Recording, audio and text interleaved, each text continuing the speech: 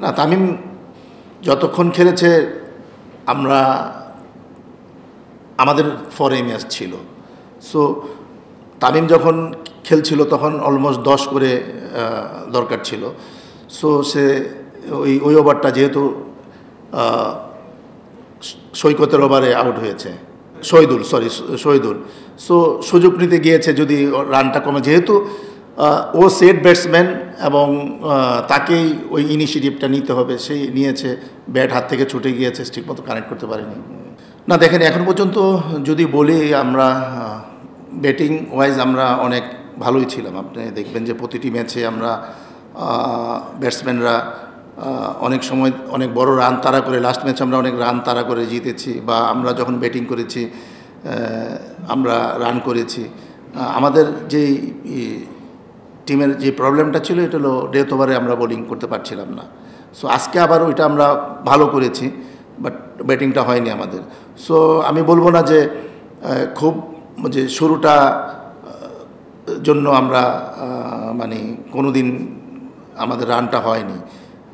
So হয়তো আমরা ওই রকম স্ট্রাইক রেটে ব্যাটিং করিনি বাট মিরপুরে বা অন্যান্য জায়গায় যে দেখা যায় যে অ্যাভারেজ আমরা যদি আমাদের বিপিএলের ইয়ে দেখি, পঁয়তাল্লিশ, পঞ্চাশ রান হয়, সেটা কিন্তু আমাদের হয়েছে। না, আমি এটা কারণ মনে করি না, সাইফুদ্দিন আমাদের আজকে ইনক্লুড সাইফুদ্দিন নিজে ভালো ব্যাটিং করে।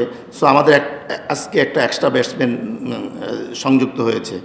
আর মিরাজ, আমাদের ব্যাক টু ব্যাক দুইটা ওভার এবং এর দুইটা ওভার আগে আবার আরেকজন আউট হয়ে গেছে। সো সেই ক্ষেত্রে আমরা আমাদের প্ল্যান ছিল যে যদি ব্যাক টু ব্যাক এই পাওয়ার প্লেতে উইকেট পড়ে যায় সো ওই জায়গাটা মিরাজ খেলবে। আর যদি না হয় কারণ সেম ব্যাটিং অর্ডার থাকবে আর কি। যেটা হয়েছে যে আমাদের ক্যাপ্টেনও লাস্টে আপনারা হয়তো শুনেছেন যে স্বাভাবিক ব্যাটিং তারা করতে পারছিল না। আমরাও বাইরে থেকে দেখছিলাম যে একটু বাউন্স বেশি হচ্ছিল স্বাভাবিকের তুলনায়।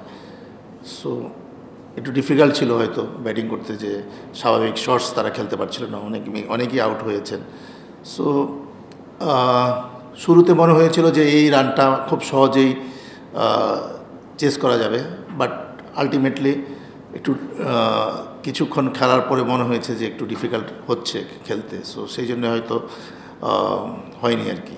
আজকে বলব যে একটু এক্সট্রা বাউন্স ছিল উইকেটে হ্যাঁ সো স্পিনাররাও দেখবেন যে যেই শর্টস বলগুলো যেখানে যেই যেখানে আসার কথা ছিল এর চেয়ে বেশি ও, উপরে এসেছে।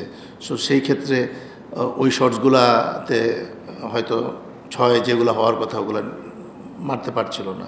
সো কিছুটা বলব না যে একদমই খুবই খারাপ উইকেট ছিল বাট বাউন্সটা একটু বেশি ছিল। সেইটা অ্যাডজাস্টমেন্টে হয়তো কিছুটা দেরি হয়ে গিয়েছে বা বুঝতে পারেনি বা এরকম হয়ে ওঠেনি আর কি।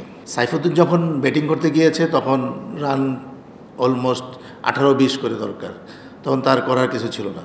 হ্যাঁ সো সে এরকম, এরকমভাবেই খেলবে। হ্যাঁ তিন চারটা বল কারেন্ট হয়েছে ভালো। সাইফুদ্দিন লোয়ার অর্ডারে এরকমই খেলে।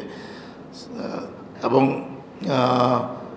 আপনি দেখবেন যে শুরু থেকে এরকম বিহেভ করছিল বা কীরকম খেলতে, মুশফিক যেমন আমাদের কন্টিনিউয়াস সে আজকে হয়তো তাকে বাবা বাবার আজম ওভারটেক করেছে রানে বাট সে সো প্রতিদিন মুশফিক কিন্তু খুব ভালো খেলে।